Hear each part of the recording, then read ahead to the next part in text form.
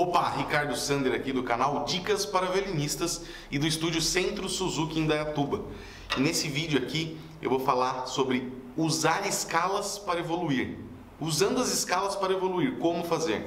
Bom, vamos lá, antes de começar, não se esqueça, Instagram, arroba Ricardo Sander, pra gente interagir por lá, você pode me mandar mensagem que eu respondo, ok? Comentar nos vídeos, nas, nas postagens que tem lá.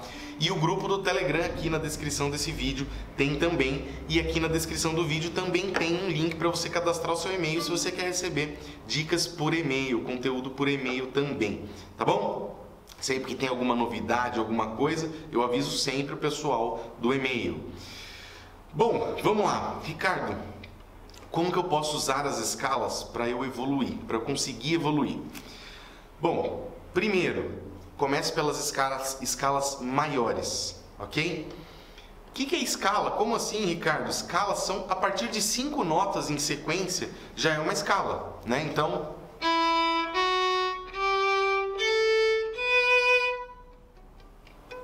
cinco notas, já é uma escala, uma escala pentatônica, né? Tem cinco notas. Mas vamos pensar na escala de uma oitava, então que ela vai de, por exemplo, de um sol.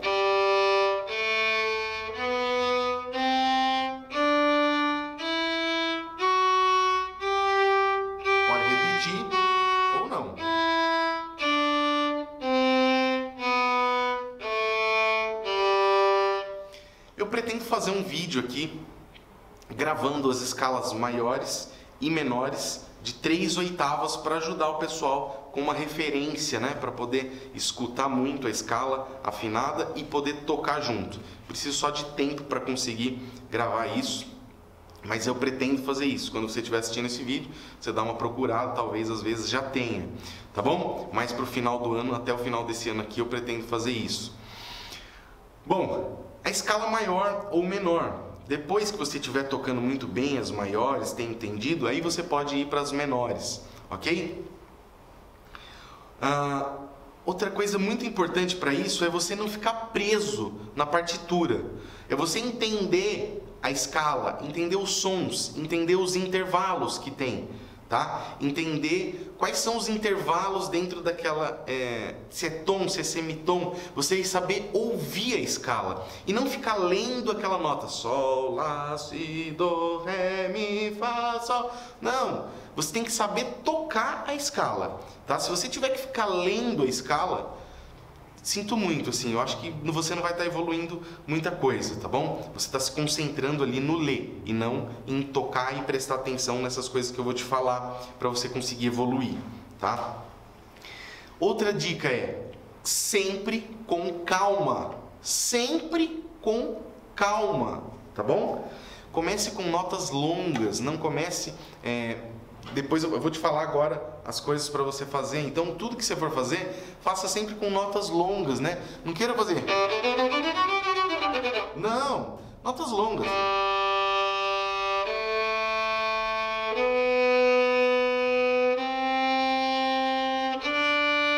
Tá bom? Você tem que ter calma para você poder pensar em tudo que você está fazendo.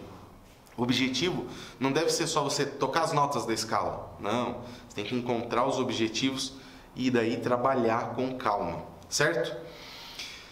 Entenda a escala e os sons, como eu te disse, né? Porque daí você já sabe a afinação. Ah, o que, que você pode trabalhar e evoluir nas escalas? Você pode trabalhar a, o aproveitamento do arco tá? Então assim, ah, eu vou utilizar pouco arco, só no quadrado.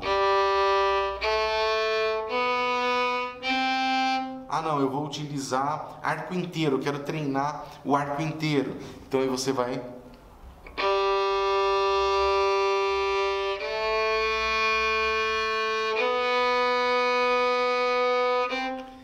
e vai tocar com muita calma, prestando atenção no seu arco. Se esse é o objetivo de você estar tá melhorando, então Cuidado com o arco inteiro, utilizando a escala para você evoluir. Ah, eu estou entortando muito o arco. Então, faça a escala, que é uma coisa fácil, né? E aí você vai conseguir prestar atenção é, no seu arco e estar tá trabalhando isso aí para você evoluir, tá?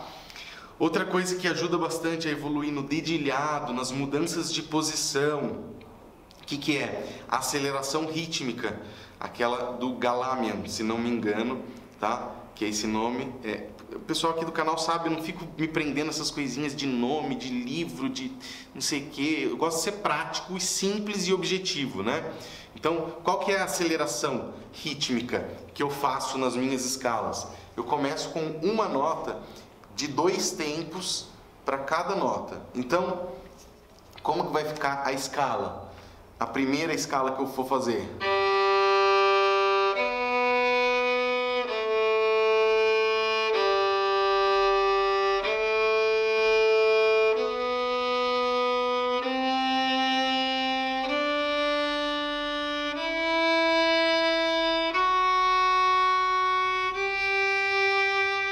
Certo? Dois tempos para cada nota. A hora que eu voltar,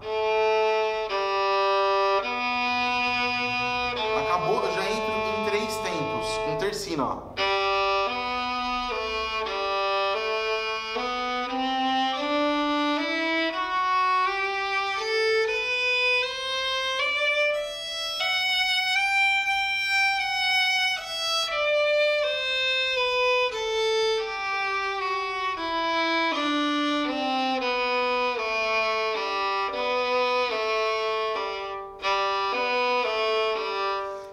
Sempre o mesmo, então você deve pôr um metrônomo, tá bom? Porque senão a parte que fica difícil, você sempre vai é, atrasar. É, isso é normal. Por isso que a gente tem que estudar com metrônomo, né? Porque nas partes difíceis a gente diminui para conseguir fazer e nas partes fáceis a gente vai mais rápido.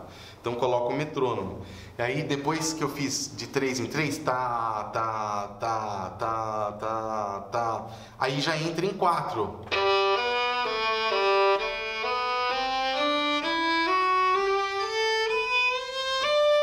Tá?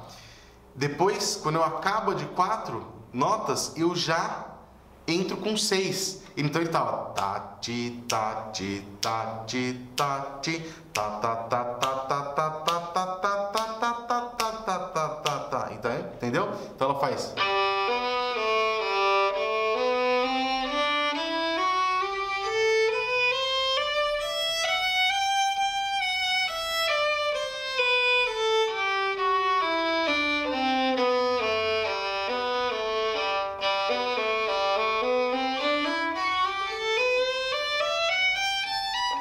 Tá bom? E aí vai de seis em seis notas, são tercinas, né? É, sextinas, né? Tercinas, na verdade, porque tá, tá, tá, tá, tá, tá, tá, tá, tá, tá, tá, tá, tá, e aí depois vamos para oito notas. A hora que acaba essa, a gente passa para oito notas, então daí seriam semicolcheias. Tá bom? E aí o negócio é que sempre, sempre nessa aceleração rítmica, o seu arco tem dois tempos. Então, no primeiro é um, dois, um, dois, um, dois, né?